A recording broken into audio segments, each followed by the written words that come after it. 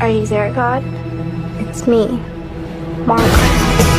I'm here to speak to you today about your changing bodies. The blood is released through the vagina. Please, do this one thing for me. Let me just be normal and regular like everybody else. Just please, please, please, please, please, please, please.